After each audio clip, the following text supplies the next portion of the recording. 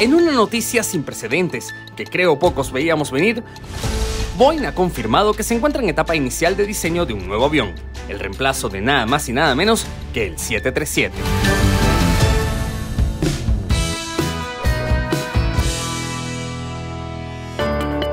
Durante más de medio siglo, la historia de la aviación ha estado unida al Boeing 737 desde su primer vuelo en 1967, ha transportado a miles de millones de pasajeros, surcando los cielos de todos los continentes y se ha convertido en el avión comercial más vendido de la historia.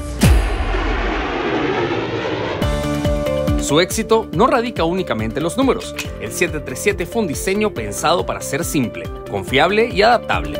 Y vaya que lo ha sido. Generación tras generación, Boeing lo fue estirando, achicando, modernizando y reforzando al punto que hoy seguimos viendo un avión cuyo ADN pertenece a los años 60, pero con un cerebro altamente automatizado y tecnológico. Aviones recién salidos de fábrica que comparten los cielos con sus abuelos que tras 50 años aún siguen en el aire.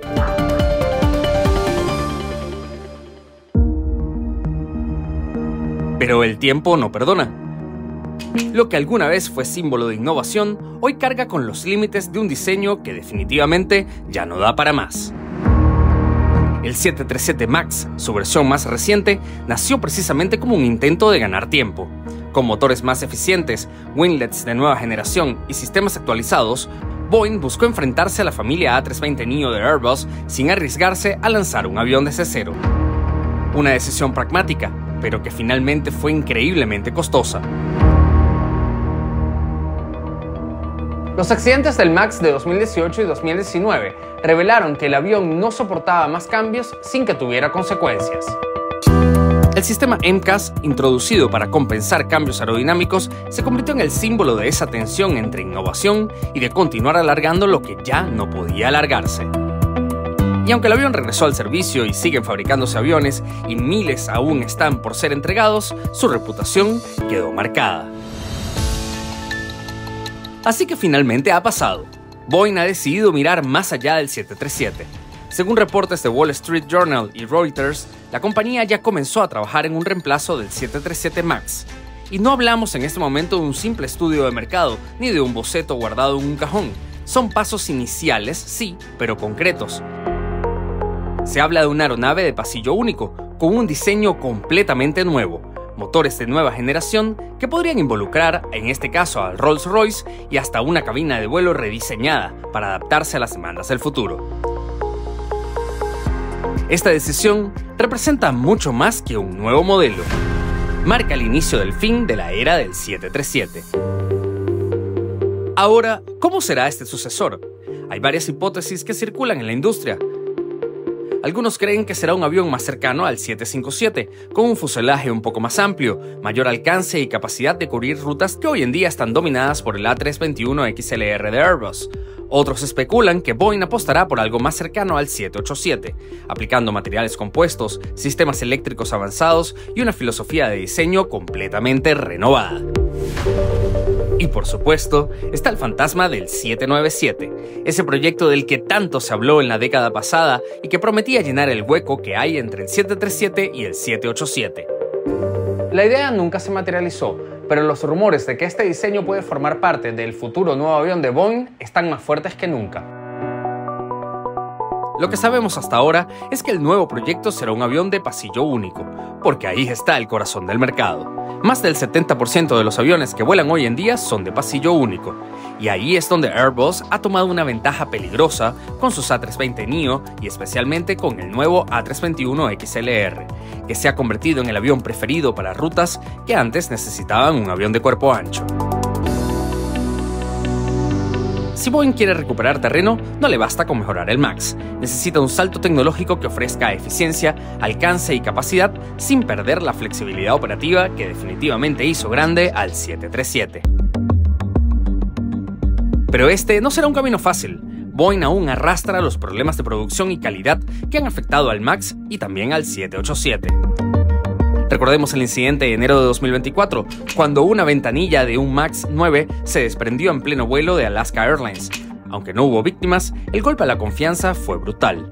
La FAA ha llegado a limitar la producción del MAX a solo 38 unidades al mes y recién este año levantó parcialmente esa restricción. Además, Boeing tiene una cartera de más de 6.000 aviones pedidos pendientes por entregar. Es decir, tiene que desarrollar el avión del futuro mientras cumple con una montaña de compromisos del presente. Y la competencia tampoco espera. Airbus no solo vende más, sino que está evaluando mejoras para la próxima generación de la familia de A320. Y mientras tanto, fabricantes como Comac en China y empresas que trabajan en aviones eléctricos o híbridos presionan con propuestas disruptivas que aunque todavía no amenazan directamente, podrían cambiar el panorama en las próximas décadas. Lo que sí es cierto es que el sucesor del Boeing 737 no solamente va a tener que vencer a Airbus, sino que se desarrollará en un mundo totalmente distinto, donde la sostenibilidad va a ser lo más importante.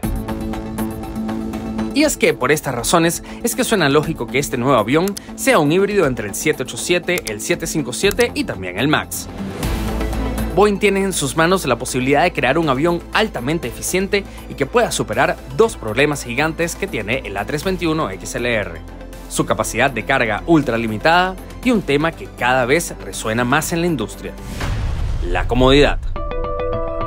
Y es que el A321 es una pesadilla en términos de comodidad para los tripulantes de cabina, pocos baños para muchos pasajeros y la sensación de encierro que un avión de pasillo único produce.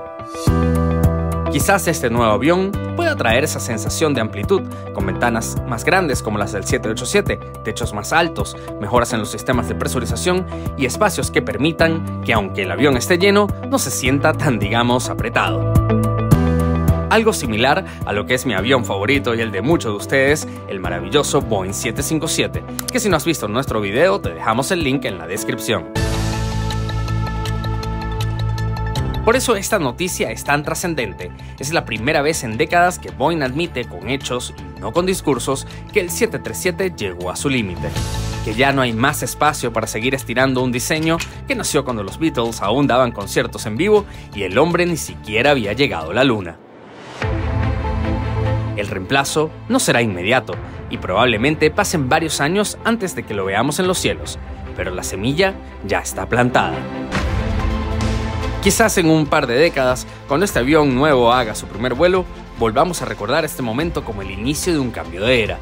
El 737 ha quedado como una leyenda, un avión que ha dominado los cielos durante décadas, que sobrevivió a una crisis, tragedias y evoluciones forzadas. Y su sucesor, sea más parecido a un 757, a un 787 o definitivamente este avión sea el 797, será el encargado de escribir el próximo capítulo.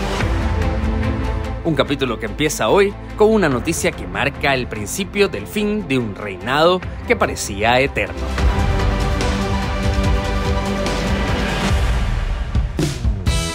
Cuéntanos, ¿qué te parece esta noticia? ¿Crees que el sucesor del 737 se parecerá más al 787 o quizás traerán de vuelta al 757? Déjanos saberlo en los comentarios. Si te gustó este video, suscríbete y dale click a la campanita de notificaciones. Nos ayudarías un montón.